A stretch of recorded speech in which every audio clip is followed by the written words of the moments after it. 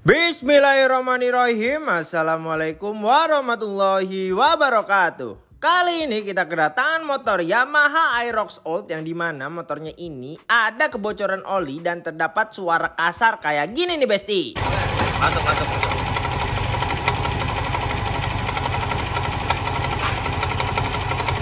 Suara berisik ini bisa disebabkan dari banyak banget kemungkinan nih Besti. Misal, paling umum tuh biasanya ada pada tonjokan keteng yang ambles. Terus rantai keteng kendor. Terus klep jeber juga bisa. Baut setelan klepnya udah kemakan juga bisa.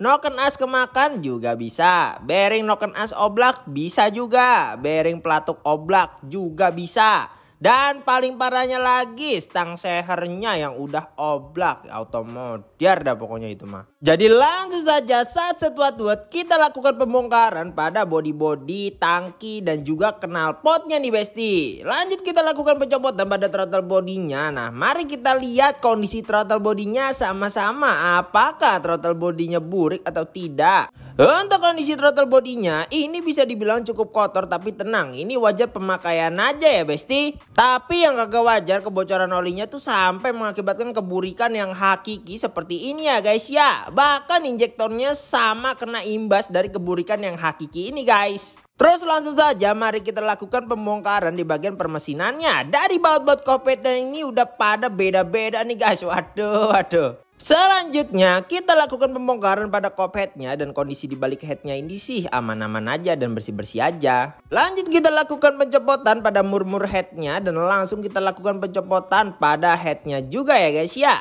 Mari kita lakukan pencopotan headnya dan juga bloknya ya adik-adik. Dan mari kita analisa kerungkatan permesinannya satu persatu. Untuk kondisi pistonnya ini udah capek nih Besti. Disebabkan karena umur dan mengakibatkan performa motor jadi nggak maksimal. Untuk kondisi bloknya ini burik banget karena kebocoran oli yang disebabkan packing bloknya ya guys ya. Tapi boringannya aman. Untuk kondisi headnya pun juga burik banget tapi ini wajar pemakaian ya guys ya hanya perlu dilakukan sedikit pengglowingan yang hakiki. Jadi langsung saja kita lakukan pembongkaran pada part-part bagian headnya dan mari kita analisa satu persatu. Untuk kondisi nokenasnya ini udah kemakan nih besti yang akibatnya bisa bikin bermunculan suara mbak-mbak Jepang ya guys ya. Untuk kondisi tonjokan ketengnya ini udah jebol nih besti. Buset sampai begini bentukannya anjir kagak tahu dah ini gue mah. Sejauh ini baru sekali ya guys yang lihat sampai begini tuh guys guys buset Terus untuk kondisi pen pelatuknya pun juga baret nih Besti. Ini juga bisa mengakibatkan suara berisik juga nih Besti. Jadi langsung saja saat setuat buat kita lakukan pembersihan secara keseluruhan pada part-part permesinannya. Dimulai dari part-part perinjeksiannya, kita lakukan pembersihan dengan menggunakan bensin pada injektor. Habis itu intake yang burik juga kita kuas-kuasin. Dan pada throttle bodinya ini kita lakukan pembersihan dengan menggunakan carbu cleaner. Aslinya semuanya pakai carbu cleaner guys. Soalnya pengkinclongan hakiki itu menggunakan carbu cleaner dan perataannya menggunakan bensin dan kuas. Itu adalah cara yang biasa kita lakukan di sini. Tidak lupa kita lakukan pembersihan pada part-part permesinannya juga nih Besti. Dan ini dia kondisi intake dan throttle body setelah dibersihkan. Udah kinclong kembali ya adik-adik ya. Begitupun juga kondisi bloknya udah glowing kembali just king just par. Untuk klepnya kita lakukan pembersihan dengan menggunakan amplas pakai alat milling ya guys ya. Ora sepele, ora sepele. Dan ini dia hasil pembersihan klepnya guys. Anjay, just king just par pokoknya guys. Selanjutnya mari kita lakukan pembersihan juga pada head dengan menggunakan bor kawat ya guys ya. Supaya kerak-keraknya itu bisa dibersihkan secara keseluruhan biar glowing splendid spriwing. Habis itu kita kuas-kuasin pakai bensin biar kotorannya pada rontok semua dan ini dia hasil dari pembersihannya guys. Udah mulus kembali, jos ngeng jos par. Karena bagian crankcase-nya itu bocor oli jadi sekalian aja kita bersihin supaya glowing di bagian permesinannya guys. Anjay, Johan detailing nih bos, senggol dong. Habis head dibersihkan tentunya kita skir clap ya guys ya. Tapi nggak gue videoin skir clapnya sorry ya. Pokoknya inilah hasil dari skir clapnya guys. Oke. Berikut adalah part yang akan kita ganti. Noken harus kita ganti baru original. Karena noken sebelumnya itu udah kemakan ya adek. Untuk pen pelatuk yang udah kemakan tadi juga kita ganti baru original pastinya ya guys ya.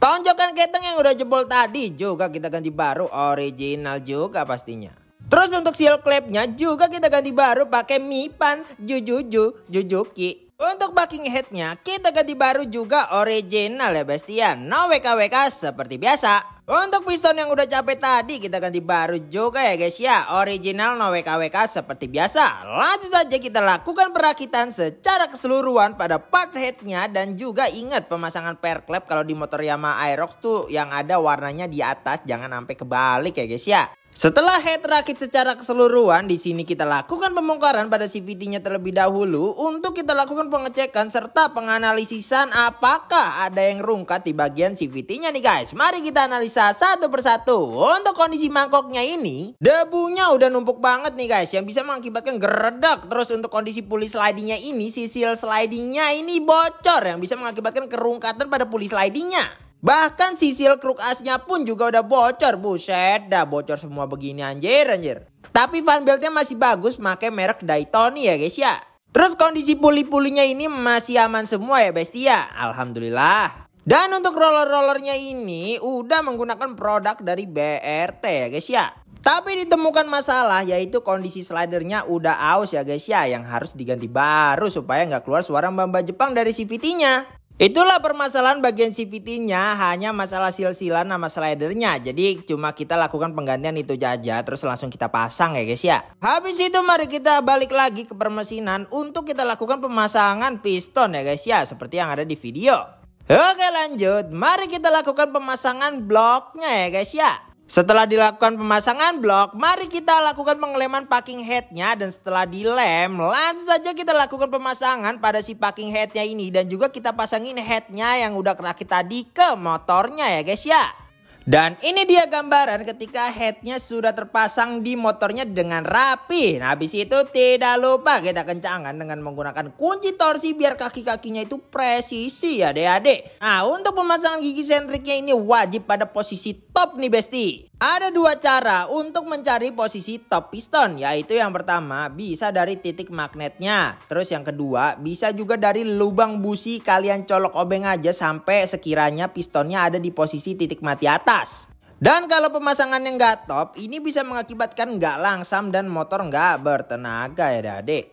Selanjutnya kita lakukan pemasangan tonjokan keteng baru originalnya nih besti. Dan tidak lupa kita lakukan penyetelan klep-klep kembali dan dipastikan tidak kerapetan dan tidak kekendoran ya guys ya. Karena kalau kerapetan bisa bikin motor nggak bertenaga dan kalau kekendoran bisa mengakibatkan suara berisik bahkan klepnya bisa jeber ya bestia. Bahaya banget. Dan setelah dilakukan penyetelan klep, tinggal kita lakukan pemasangan kembali pada si cop headnya ini ya guys ya. Intake serta throttle body yang udah kita bersihin tadi kita lakukan pemasangan kembali ya bestia. Habis itu tentunya kita lakukan pemasangan injektor yang sudah glowing splendid brewing ini ya adik-adik. Kalau udah kepasang tinggal kita pasangkan kembali water pump, radiator, knalpot, tangkinya. Ya pokoknya antek-anteknya secara keseluruhan lah pokoknya. Sebelum cek sound, kita lakukan penggantian olinya terlebih dahulu. Dan untuk olinya ini pakai Cell Advance. Ownernya bawa sendiri ya guys ya. Langsung saja kita tuangkan olinya ke motornya. Dan ini dia. Cur!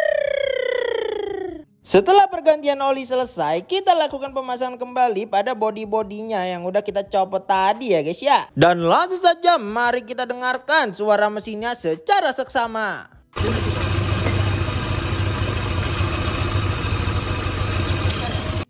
Bah, halus banget ya adek. Dan di sini kita lakukan pembersihan pada part-part CVT-nya secara keseluruhan ya guys ya. Kita kembali lagi ke CVT-nya guys. Dan sekarang seluruh part-part CVT-nya ini udah glowing, splendid, smrewing ya guys ya. Mari kita beralih ke penggantian part-part yang rungkat tadi ya guys ya. Ya silsilan lah yang kita ganti tuh sama apa namanya slider doang tadi ya guys ya. Langsung saja kita lakukan pemasangan secara keseluruhan. Langkah terakhir pastinya kita lakukan scanning ECU untuk mengecek kerungkatan sensor pada motor ini dan alhamdulillah semuanya aman ya guys ya sensornya. Jadi langsung kita test drive.